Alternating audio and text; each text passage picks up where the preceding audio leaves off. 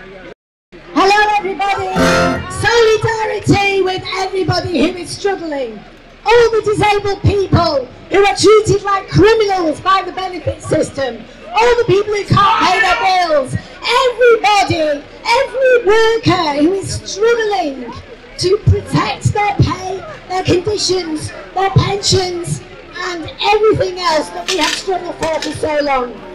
The climate crisis is the same crisis as the cost of living crisis, is the same crisis that working people are facing in this country and around the world. It's called disaster capitalism and it is exploiting the nature of the planet, the resources of the planet, the people on the planet and the climate. And I have news for you, if you don't know already, that time has run out and if we don't act now, it's too late. I'm going to do a quote now from Professor Sir David King. He was the chief scientific advisor to the Blair and Brown governments. He was the chief climate science advisor to May and Cameron governments. This guy knows his stuff. Currently working at Cambridge University on climate. He said last year in February in Australia, If it too quick, it'll affect the people. we must move quickly. And it'll just push them into What we do in the next three to four years, I believe, will determine the future of humanity. We are in a very, very desperate situation.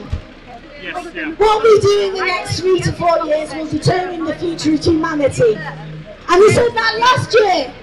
So now we've got two to three years to take radical action on climate or else it's runaway climate change and it's too late. What does that mean? It means a collapse of human civilization and much of the natural world. That's not me, that's Sir David Attenborough. We have a plan. We are going to occupy Westminster from the 1st of October. We are in coalition with unions. We are with Fuel Poverty Action, who are trying to campaign to stop people dying in their own homes every winter because they have to choose between heating and eating. We want clean energy, we get green energy. We want a just transition, everyone working in the fossil fuel industry to be supported into clean green jobs, not like Thatcher and the miners in the 80s.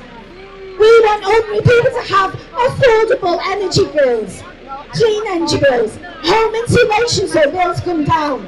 All of this is possible. What is stopping us is a lack of political will. Because all the politicians in charge at the moment are taking oil money.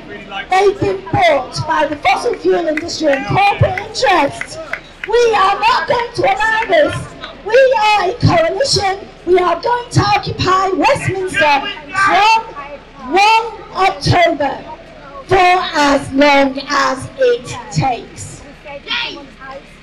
Yeah. So if you want a livable climate for yourself and for your children, then you need to join us in the Just Stop Oil Coalition. We all want to stop oil because we want a livable climate. Thank you.